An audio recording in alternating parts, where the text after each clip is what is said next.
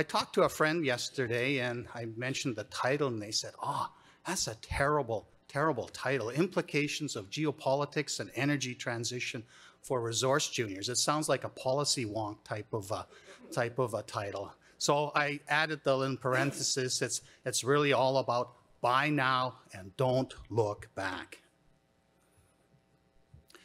This is the portrait of the misery, the 10-year bear market that we've had. The blue is the trading value of the TSX Venture resource listings, and the yellow and the red represent relative share of traded value, and the red is basically cannabis, crypto, everything dominating this space for the last 10 years, marginalizing the resource juniors.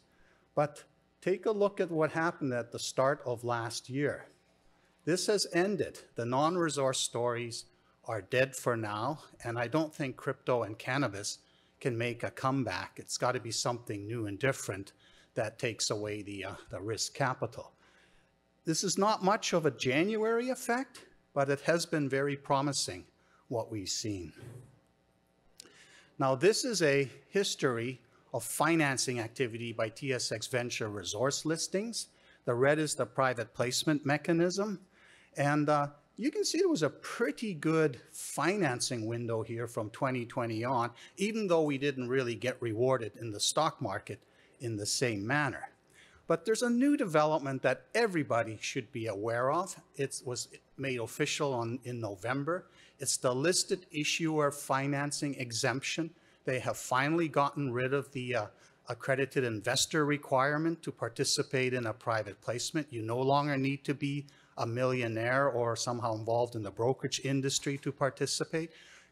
Brokerage firms are starting to do them. Several juniors are experimenting doing them as non-brokered. It's going to be a lot of paperwork, but this now opens up the financing to the entire Canadian audience, uh, no matter what age and wealth that you have. So this is this is breathes new life into the resource junior by expanding the capital pool massively.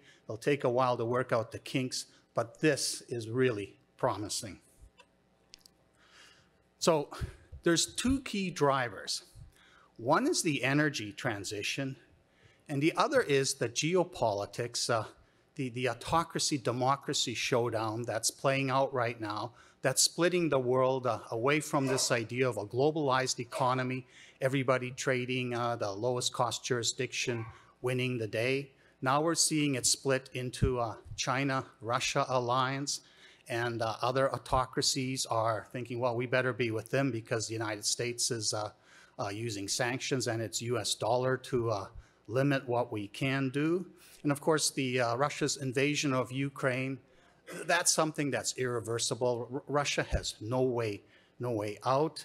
And uh, I think that there's, there's three outcomes. One is what we have now, which is the world splitting ever more into two distinct economic zones.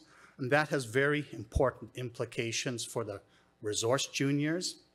The second outcome is, is the craziest outcome, which is that the United States itself becomes an autocracy and the alliances with all the other companies dissolve and it's all like everybody against everybody.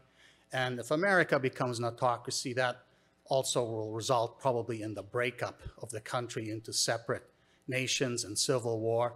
And that's, of course, a, a, good argument for gold, but it's a scenario we really don't want to see unfold. The third scenario is that coups oust uh, Xi Jinping, Vladimir Putin, and are not replaced with another strong man, but a new regime that slowly goes back to a globalization. That's not particularly good for, for gold. It is good for the energy transition. Now, the energy transition itself is now happening. It's no longer just policy driven, and the car makers are the key drivers of it right now. They've gone the point beyond the point of no return, and the metal, new metal supply required to make this happen, it is very substantial. And the fragmenting of the world into these two different zones that complicates the ability of achieving the energy transition. So there was a document that came out uh, this month, earlier this month, uh, by the International uh, Energy Agency. It's 458 pages, 48 megabytes. It is really worth reading. To, it's a blueprint of how the energy transition is supposed to work. And I've clipped a bunch of, uh, of their graphics just to illustrate why I think the foundation has been laid for a very powerful resource junior bull market. Now, there's two parts of it. They have the 2050 goal of zero emissions uh, and limiting uh, the uh, uh, temperature gain to one and a half degrees Celsius above pre-industrial periods. And uh, that's the overall long-term gain. But the short-term goal, 2030, that's basically uh, based on electric vehicles becoming dominant and replacing internal combustion engines. What comes afterwards is quite interesting. It's uh, continuing to see the solar wind power build out, and then the surplus energy harnessed to make uh, hydrogen uh, through electrolysis of the surplus energy, and then either burning that to feed electricity back into the grid, or piping it for the hydrogen fuel cells that will power heavy-duty transport trucks, for which the lithium-ion battery just isn't good enough to uh, make, uh, you know, big trucks and things like that uh, uh, useful to be an electric. So this, this, this is the sweet spot for the resource juniors right now. This here breaks it down in the uh, sort of five metal groups that uh, they have identified as critical minerals. And uh, you can see the impact lithium. This is this graph here shows how much uh, more in percent terms is required to make that 2030 goal a reality. You can see this in copper and nickel and cobalt and, and in the rare earths. They've used neodymium for all the four, four rare, earth, uh, rare earth magnets. And that's mainly for electricity networks, the motors and the batteries in electric vehicles. Now, this is a fascinating, fascinating graphic. Uh, they've identified how much uh, uh, capital is already committed to make these portions of what they see as happening. The striped portions are what's not yet identified. And what I find interesting is how little of the uh, committed or expected investment is for North America. And this is what they call other Asia Pacific. That's Australia and places like Indonesia and the Philippines uh, for, for metals like nickel. So right now, it's North America, which is our focus. Our resource juniors are, you know, mainly North America. This is like not being taken seriously as a source. It's going to end up taking care of, North America is going to be taking up a good part of this, maybe some of this, and I think this half that's missing from the, uh, the future lithium requirement. Now, one of the things that I found really fascinating about this document was that they have acknowledged that the mineral supply is the biggest obstacle to the energy transition becoming reality. They've identified how much more capital, total capital is needed to make this stuff available. And they've also identified the decision timeline. Now, the reason I use this line of the next three years they have to figure it out in the next three years where all this extra copper, nickel, and lithium, and even rare earths are supposed to come from so that the permitting and that can, uh, can start to unfold and have this stuff ready by 2030 and then grow beyond that. And they have identified, they go repeated over and over again about these hideous timelines. And I think the big thing that's starting to circulate at high levels is our policy goals are meaningless unless we shorten the permitting timeline. Don't cut corners or anything, but stop using the permitting cycle as a Western form of graft where instead of paying off a dictator to make it happen, we end up wasting all this money pretending to be permitting a project and going through these endless studies. Let's make it efficient. And then when we identify the, the costs and benefits, make hard decisions. Maybe that buckwheat plant there at Rhyolite Ridge just needs to be not part of the diverse uh, ecosystem anymore because there are bigger things at stake, and that is the uh, impact of climate change if nothing's done, done about global warming to uh, uh prevent uh, all the, you know, the, the, rising sea levels and all that to uh, mess things up. So this simplifies what is needed more of. Now, now, copper has a huge base, and it tracks the macroeconomy. But they're still expecting that just adding the electric vehicles will require a 50% expansion of supply just to accommodate that need. Nickel, it's 100%. Cobalt, it's 50%. And, and, and neodymium, or the whole rare magnet rare earths, it's, it's a doubling. But it's the lithium, and, and I've been talking about, you know, needing 10 times as much by uh, 2035. They're talking we need six times as much as we have now by 2030. So here's, you can see the only metal that did super well last year was lithium carbonate. And this was Lithium Mania 1.0 when the Tesla started being built and uh, the Australians recognized and we had a good price. But the Australians were hyper efficient at mobilizing lithium from pegmatite deposits. So they overwhelmed the market, caused this crash below $3 per pound where no pegmatite deposit works.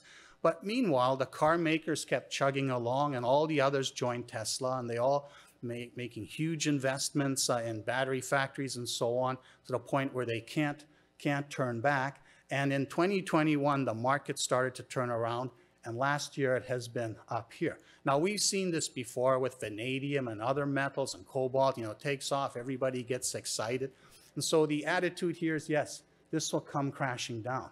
Yeah, it has to. It has to crash down into this 10 to $15 a pound range. At that level, the good pegmatites all work and the world will have enough supply from all these pegmatites out there. So instead of going, oh, carbonate's dropping, it's down to $20 a pound, bubbles over, let's stop uh, chasing these lithium companies. No, this actually has to happen. Uh, there's a bit of a slowdown expected this year in, in China, but uh, uh, uh, structurally, some are predicting that we're going to see these stupidly high prices uh, for some time yet. So either way, whether it retreats is a good thing because that means the cars will be more affordable down the road. Or if it stays up there, everybody will get super lathered up about lithium and think it's going to be there forever. And that will definitely uh, provide the optics to pull more money into the space. And again, this is, this is so staggering. Um, you know, two, $200 million worth of this stuff was sold in uh, 2005, mainly for the glassware and ceramics industry.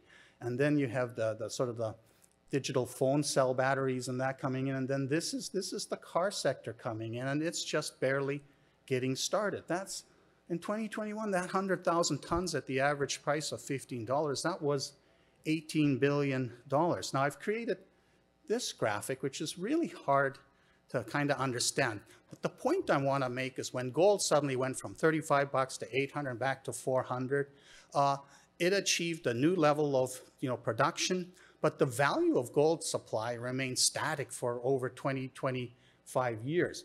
We're seeing compressed this growth from here in the next eight years. We're going to see this be a $100 billion plus market. The idea that some obscure metal could become a 100 to 200 billion dollar market within 10 years, be in the same league as copper and gold, that is unheard of. And there's a lot of skeptics saying it's not possible given the permitting timelines and, and obstacles. But again, my point is there's this policy-driven urgency to this that's overarching, and you can either give it up and just uh, figure out like abandon Florida and move to places that won't be flooded, or you can dig in and make this happen. And here's sort of where the pegmatite uh, places are in the world. Most of it comes now from here and in the brines from the, the Chilean uh, uh, lithium triangle. China's trying to produce a bunch from its uh, inferior deposits, but it's these parts of the world there and there, and even, even here. This is all messed up with uh, uh, uh, um, jihadi type, type of politics. But this, especially the Canadian part, which doesn't have as horrible a NIMBY problem as the United States, this is where the other half of the required lithium supply is going to come from. And this is what I call lithium mania 2.0. And here's sort of four examples of, you know, why it's happening. This is Patriot, which kicked it off last year with its Corvette project. They had it in, in, in, in 2015. In um, 2018, I had them at MIF as sort of a, a mithril copper tie-on.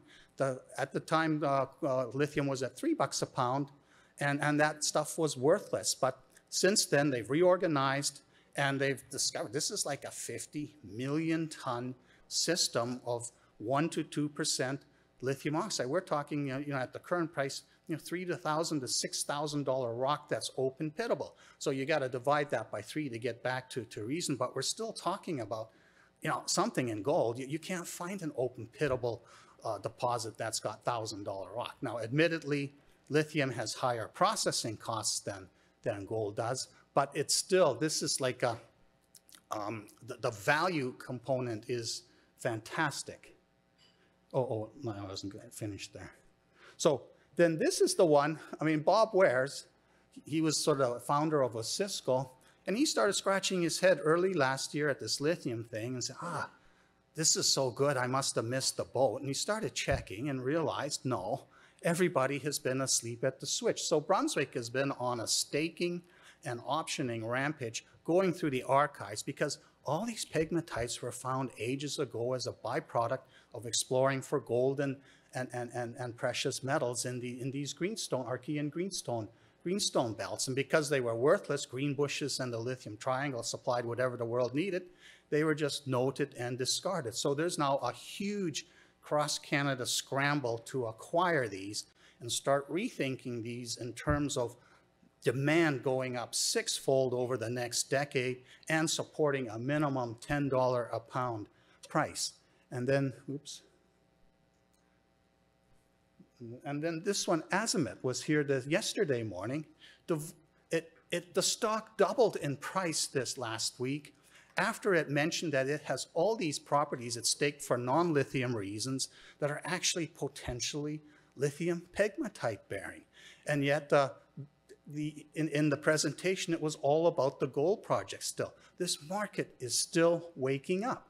And this is like the little tiny sleeper that I have been accumulating as a bottom fish. And you can see even that is waking up. They have been a stealth staker of land in the James Bay area, which seems to be useless for gold and base metal deposits, but appears to have world-class lithium pegmatite potential and they're using sophisticated stuff like the rubidium in the lake bottom sediment databases and their knowledge of glacial history that came from the decade when they toiled trying to find another Renard and sort of reconstructing why is this rubidium here in these lakes? Where's the history? Where's the blank spots where there seems to be nothing? That's actually the origin of this stuff. So this little company is going to come out of the woodwork uh, sometime in the next few months. And the reason I'm probably one of the only newsletter writers uh, who's really pumping this whole awakening that's happening is because I lived through the uh, 1990s diamond boom. And prior to 1991, nobody knew anything about diamonds. So I lived and breathed this whole eruption of Diamet with Ekati, the looking for diamonds uh, beyond it. And so I say we're like still really early in the stage. It's like almost one year since Diamet first announced it, and we're in this point. And there's going to be an explosion later this year where everybody is going to be into lithium. And the cannabis promoters and crypto promoters, they're already grabbing shells. They're out there staking land. Amateurs are starting to stake the worthless land between the uh, pegmatite belts. This is going to be crazy. But lithium's not the same as diamonds. The little kimberlite clusters can come up anywhere within a broad expanse. You do have to have the right geology to have a pegmatite. So this lithium focus, it, and, and it's the, all little horrible companies with too much paper out and all that, which are getting this. So this is back to our the dream world from a couple decades ago when five, 10 cent companies can end up a buck, two bucks, even five dollars. We haven't experienced this sort of scale of an area play, which is also a concept play since the diamond days uh, 30, 30 years ago. And here's sort of the, you know, a, a, a perspective of where this all, these, these critical metals are supposed to come from. Coppers comes from everywhere. it doesn't have that uh, security of supply problem. Um, lithium doesn't either, and Canada's probably one of the most secure jurisdiction to find more of it. These two do. Look where, look where all the nickel comes from. Over half the nickel, this part, if China decides to become very aggressive and the split between the, the autocratic and democratic uh, uh, groups uh, uh accelerates, such as China uh, uh, annexing Taiwan and the United States refusing to just roll over and say, okay, whatever. And also, all these rare earths, they still come mainly from China. And these aren't part of the battery, but they're part of the motors. They're critical. So there's another Rare Earth Mania 2.0 coming, but it won't come until the relationship with China breaks down totally, and we hope it doesn't, because if it does, we have all kinds of horrible problems. Now, with regard to this uh, sort of showdown between democracy and autocracy, this graphic should frighten everybody because this shows the percent of the, all the uh, metals that come from China and Russia combined. I mean, 19 of them, more than 40%, comes from these two countries. This is a horrifying chart. And this is what comes from America with the same scale on the side. America has a problem if this autocracy democracy showdown accelerates into a complete split into separate trading zones. So this is a really interesting, so you look at where all the GDP is, and I circled the ones that are going to be part of the autocracy alliance. And uh, let's see which one's which. Okay, China. This is interesting. This is the IMF still projecting 5 6% growth. China has probably peaked uh, it was 3% last year. Now, the zero COVID policy was responsible for China's growth slowing down. They capitulated at the end of last year. Right now, the lunar, lunar New Year is like spreading it over the entire country. Uh, hospitals have been forbidden to write down COVID as the reason for death. Um, last year, the population actually went down. In demographics, China has peaked. Now, a lot of the bullishness in the market right now is premised on the idea that China is going to reopen and get things going. But I think it's, uh, it, it's peaked. Yes, it's going to get back going again, but the China super cycle is over. Russia, of course, is, is a nothing burger. It's like way over here in terms of global GDP. Its growth is expected to be negligible. But this is the star. Now, 12 years ago, we said, yeah, India next super cycle, but it was way too soon. But it's, we're now at a point where it's time to start taking the possibility of India launching the next super cycle seriously. And right now, India's undecided whom it's going to ally with, the autocracy side or the democracy side. And so there's a lot of behind the scenes work to make sure that India decides to stay a democracy and people are now moving uh, Companies are moving manufacturing capacity to India. India is embracing electric vehicles. It wants to be part of this solution. And uh, there you can see it. And China hit the tipping point right around uh, here in 2002 when it got to about 3.9%. I think India's growth will probably be better by 2030. India is going to be ready for liftoff. And in terms of the whole military stuff, uh, this is just a chart I threw in there to show how Russia, without its uh, nuclear destruction capacity, is not a big deal in terms of, of military capacity. So how this Ukraine thing plays out, I do not know. I wish he would just suddenly decide to retire to his dacha and uh, somebody else come in and restore Russia as a great nation and raw material supplier. But really, in, in a military encounter, uh, Russia can't win. And here's, now this scale is only 10%. Here's India's self-sufficiency in raw materials. It's quite terrible. So India is going to be this big pulling in of raw materials elsewhere when they start going through their expansion. And why should India, you know, go through this expansion? Well, because it's going to have the most people in the world.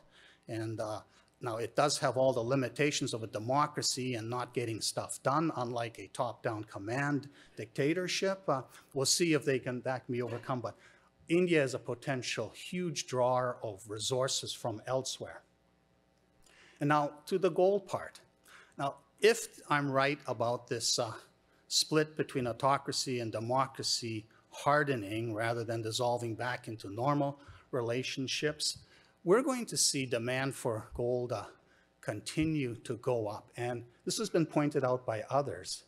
The, the, the, the GLD stuff that ordinary Western investors buy, it's been just noisy. This trend is really about the central banks shifting to buying this, and not so much the democracy central banks, it's the autocratic ones who realize that the US has weaponized the dollar and is using the settlement system to create sanctions and hamper trade. So there's this massive movement to literally diversify away from the use of the US dollar. And nobody really wants a, a RMB or a, a ruble. Uh, they want the, um, uh, so, so the transition is going to be, the bridge is going to be gold. Gold's going to play a role in this. And uh, you can see the US dollar has already peaked. So we that will also help with the gold trend as the US dollar reverses from its uh, long run upwards. And this shows you the trend in the last decade for central bank total holdings. As a relative portion, it's been flat. And this shows you that there has been consistent central bank accumulation during this past period. I don't have the data from 2022, but it's been perked even higher this year. But this is the elephant in the room. China's the world's biggest gold producer. And during this last 20 years, they've produced, uh, was it about 243 uh, ounces or 230 million ounces? They account, their official holdings account for only a portion of that. 180 million ounces went somewhere. Did they blow it out into the open market and people in Switzerland and Singapore or whatever own it? Did the Chinese themselves buy all this gold? I have a suspicion these various state-owned entities have accumulated gold on the sly and that China's gold holdings are now possibly on a par with those of the United States. Now, if that ever came out, I think that would create shockwaves in terms of uh, respect for the role that gold's going to play. And, you know, for people talk about gold as an inflation hedge, yeah, it's done that. When you take $400 gold from 1980 and adjust it by the annual average CPI, it should be about here. And all-in sustaining costs are, are here now on average. So it's this real price gain that's important. So having gold go to four or $5,000 because something terrible has happened, that's not helpful, but seeing it repriced in real terms as a result of a whole different buyer accumulating the new supply that keeps coming from the mining industry and tucking it away for a, a world that's bipolar, that's no longer a unipolar run by the United States, uh, that's going to be a continual pressure. So we're going to have the search for these critical minerals, uh, both to meet the absolute new demand globally that's required, but also potentially dealing with supply not being available from the jurisdictions that we relied on in the past because they are now in an autocratic uh, uh, trade trading zone. And we're going to see a revival of interest in gold exploration because you can't find a gold deposit big enough whose supply can tank the price of the metal. The metal of the gold market is super deep.